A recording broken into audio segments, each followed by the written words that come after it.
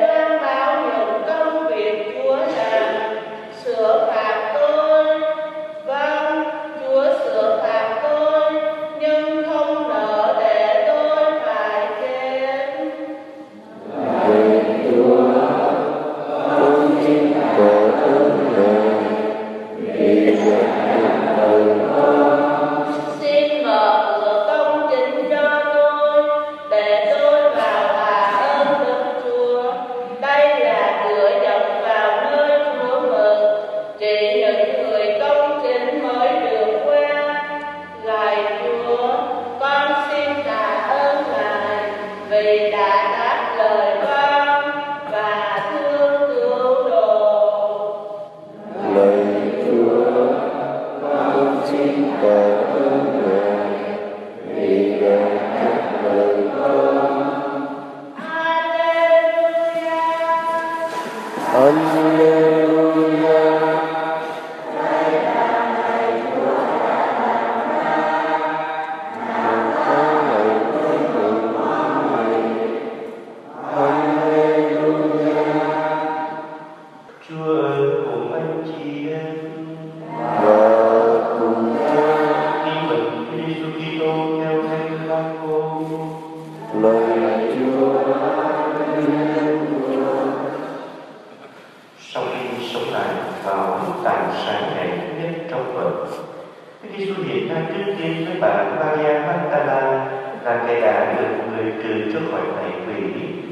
ghi báo tin cho những kẻ đã từng sống với người mà nay đang buồn bã khóc lóc. Nghe bà nói người đang sống và bà đã thấy người các ông vẫn không tin. Sau đó, người họ bày ra với một tiền dạng khác cho hai người trong nhóm các ông khi họ đang trên đường về đi về quê họ trở về báo tin cho các ông khác nhưng các ông ấy cũng không tin hay người này sau cùng, người tỏ vẻ các với chín nhóm 11 đang khi các ông dùng lửa người khiển trách các ông không tin và cứng lòng bởi lẽ các ông không chịu tin những kẻ được thấy người sau khi người nổi dậy người nói với các ông, anh em hãy đi khắp tứ phương thiên hạ, loan báo tin mừng cho mọi người họ làm đó là lời Chúa lời Chúa Kitô lời khen Chúa người khiển trách các ông không tin và cứng lòng bởi vì họ đã không chịu nhìn nhận những nhân chứng khi người trỗi dậy và người truyền hãy đi khắp tứ phương thiên hạ loan báo tin mừng cho mọi loài họ tạo kính thưa các bạn cái đoạn mà tôi vừa trích, tôi nghĩ rằng có lẽ đưa vào trong đời sống của chúng ta, để chúng ta thử nghiền ngẫm chúng ta thử suy nghĩ về cái niềm tin vào đấng phục sinh của chúng ta như thế nào. Khi mà chúng ta đã được giáo hội chúng ta đã được tin mừng và có lẽ cũng có nhiều nhân chứng ở trong cuộc đời của mình đã đến nói với mình về Đức Kitô phục sinh. Chúng ta đón nhận như thế nào? Bởi vì tôi nghĩ chính các tông đồ chính các môn đề những người ở gần Chúa, những người đã được Chúa dạy dỗ, bảo ban sau một vài năm tháng, nhưng khi mà Chúa sống lại họ vẫn không tin cho dù đã có những nhân chứng như bà Maria Magdala hai môn đề trên đường đi em về công bố cho họ biết Đức Kitô đã sống lại, nhưng họ vẫn không tin và chính khi đông cha được vào đấng đã phục sinh, tức là đã gặp gỡ được ngài, đã được ngài chia sẻ, đã được ngài trao ban dùng bữa có ý nghĩa đó, thì chính các vấn đề lại hoàn toàn khác họ đã đón nhận và đặc biệt là đón nhận lân truyền để loan báo tin mừng cho tất cả mọi người. Bằng chứng là ở trong bài đọc một sách công vụ tổng độ kể lại, tường thuật lại cái phần đầu tiên của sách công vụ tốc độ tường thuật lại một giáo hội khởi nguyên, tức là một cái giáo hội ở trong cái giai đoạn đầu sau khi Chúa Giêsu sống lại, chết và sống lại và lên trời. Những người do thái, các luật sĩ nguyện phái cho chúng ta thấy cái dấu chứng này. Thánh phêrô, thánh gioan, hai người bị liệt vào trong, hai người thất học và có thể nói với phêrô và cả với Gioan là nữa là những người kém điểm tin trong cái cuộc tử nạn của Chúa. Tất cả đều trốn chạy thế nhưng, khi Đức Kitô phục sinh đã được gặp gỡ họ và họ đã được gặp gỡ ngài, thì có lẽ có một sự biến chuyển ở trong tâm hồn của họ. Từ một con người để cho Chúa tác động, để cho Chúa dạy dỗ, để cho Chúa bảo ban trở thành một con người nham đứng đứng trước một cái cộng đồng để thuyết phục những cộng đồng này, những cộng đồng khác, đặc biệt với những phép lạ. Phép lạ chữa lành cho bệnh hoạn nhân chứng ở đó văn chứng ở đó làm sao từ chối được? Những người trong hay họ bàn luận với nhau, họ tìm cách để khống chế, họ tìm cách để rồi làm giảm đi cái ảnh hưởng của chính hai môn đệ của chúng. Và cái câu chuyện đó vẫn có thể áp dụng trong thực tại ngày hôm nay. Bình thường, khi mà con người sống ở trong một cái sự lươn lèo một cái sự gian dối, thì rất sợ nói đến sự thật. Bình linh ở trong câu chuyện của tin mừng tin Giêsu sống này và những người luận sĩ hiện thái ở trong bản tạm hội ngày hôm nay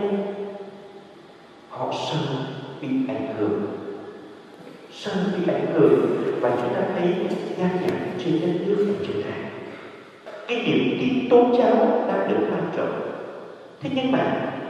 người ta lại cấm đoán kiểu này, kiểu khác. Người ta không cho những cái hoạt động là những hoạt động khác hoặc là người đã không cho những người chứng nhân của Chúa là các tông đồ, là những người đi làm chứng cho Chúa, đi đến các cái vùng trên nhân của Chúa bởi vì sao vậy? Sợ. Sợ bị ảnh hưởng. Sợ bị nói đến sự thật. Chúa Giêsu ngài đòi buộc chúng ta cần phải bảo vệ và minh chứng cho sự thật và chúng ta là những người tông đồ, là những người môn đệ của Chúa, được nhận được lệnh truyền từ Chúa qua bài tin mừng hôm nay, anh em hãy đi khắp tứ phương thiên hạ để loan báo tin mừng trong mọi bài thọ tạo thế thì, đi và làm thế nào? Tôi nghĩ rằng, một trong những cái mà chúng ta cần phải tuân trì đương nhiên là đời sống kết hiệp với Chúa, là đời sống thất bật với Chúa nhưng cái sự chân thành ở trong cuộc sống làm chứng cho cái mừng phục sinh không được quyền tiếp tay với những cái gì gọi là gian dối bởi vì những gì không phải là ngay thẳng là chân thật, là cho các người ta đến thế thì làm sao được? Đứng trước một cái xã hội đòi buộc những cái sự gian lận ở trong cuộc sống chúng ta phải làm sao thỏa hiệp đồng nghĩa với việc chúng ta đang từ chối Chúa thế thì giáo hội mời gọi chúng ta phải chấp nhận hy sinh. Có những người người ta sợ mất việc người ta sợ mất chức, vô tình, âm thầm ngâm toàn ý với người khác. Đại loại hai là vậy. Tôi nói đại loại hai bởi vì hồi xưa sống với anh em dân tộc, nhà nước công nhận đảng, cho gia nhập đảng những người có tôn giáo ngay từ đầu tôn chỉ của đảng là không là vô thần không tôn giáo thế thì tại sao lại không có đảng nhau phải chăng đang có một sự lươn lẹo đang có một sự gian dối ở đây? Rồi cuối cùng, những người đảng đoàn thay đó dần dần đi vào trong những con đường bị tuyên truyền, bị thế này, bị thế khác, và trở thành những người vô đạo. Trong chúng phản chúng vô tình, đi vào trong cái sự lươn lẹo đi vào trong cái sự gian dối, bắt đầu chúng ta đã đi xa dần Chúa những người bác sĩ, những người viện phái ở trong bản tin mừng ở trong bản đạo của ngày hôm nay, họ đã tìm cách để đổi làm cho ảnh hưởng của đạo, của các tông đồ không được lan tỏa. Thì ngày hôm nay cũng vậy, ở trong thế giới của chúng ta, nhiều người cũng đang tìm cách để làm cái tin mừng phục sinh không được lan tỏa mà cần phải có sự cố gắng, cần phải có sự hy sinh của mỗi người chúng ta. Xin Chúa Kitô phục sinh cho chúng con quanh nhau để làm việc cho Chúa trong thế giới.